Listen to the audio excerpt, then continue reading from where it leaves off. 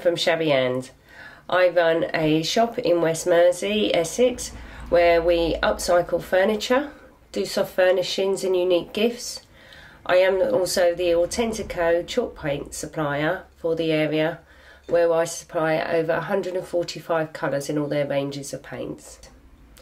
With the Authentico chalk paint, we like to run workshops and teach others how to upcycle old pieces of furniture that they may wish to give a new lease of life to. So if you're looking to rekindle a piece of furniture for yourself, you could bring a small piece of furniture along where I will teach you in the basic workshop how to um, paint the piece of furniture, prepare it beforehand, what tools you're going to need on the day, and also how to do layering techniques and bring other colours through.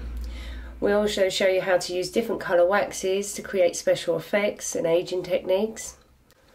If you was looking to um, go on an additional workshop, we do offer an advanced um, workshop.